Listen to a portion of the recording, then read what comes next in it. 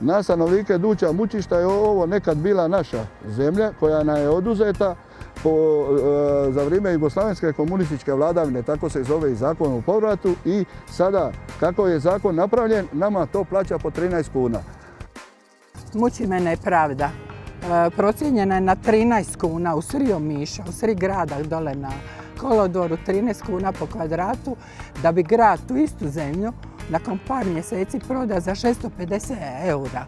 Problem je sam zakon o povratu koji kaže dosta da je neko nacrtao na skici da se tu nešto izgradi, već se smatra da je privedeno svrsi. E čin je privedeno svrsi, više nema ni povrata, ni poštene naknade. Evo, snimite, molim vas ovo, pa recite je li ovo privedeno svrsi. E, bili smo na sudu i prošli smo sve inštance, znači imovinsko pravno, ministarstvo pravosuđa, upravni sud, ustavni sud i moja je postala pravomoćna, ja više nemam pravo na naknadu za parking jer se upisala lokalna samouprava ili država, nije uopće bitno. Šta se tiče parkinga, grad je zamolio doslovno građane dok su procesi bili u, tijeku. Može li tu držati parking jer grad ovdje je nužan parking. Mi smo se složili da se tu drži parking. Grad je pristao da će do povrat do rješenja sporova o povratu tu drža parking i što se tiče toga grad je koliko ja znam ispoštovao sve do zadnje stavke.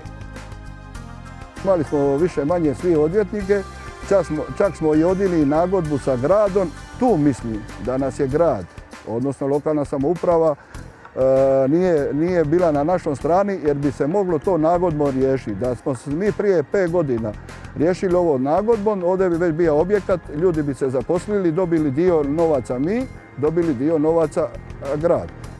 Zakon je tako postavljen da u biti ne omogućava ni povrat ni poštenu naknadu. To je jedan nakaradan zakon koji se kolokvijalno među odvjetnicima naziva nova nacionalizacija. E, država mislim da nije kršila zakon zato što je takav zakon e, donesen i radila je po tom zakonu koji ja smatram i molim vladu da pokuša promijeniti taj zakon radi nas građana, e, mještana Duća, odnosno i ostalih građana Hrvatske jer je zakon nakaradan. Ovo je naša didovina, E, mi smo tu didovinu naslijedili i mislim da moje dijete i ja imamo pravo na normalan život, da nam se to na jedan način nadoknadi, a ne da gledam od penzije kako ću preživiti.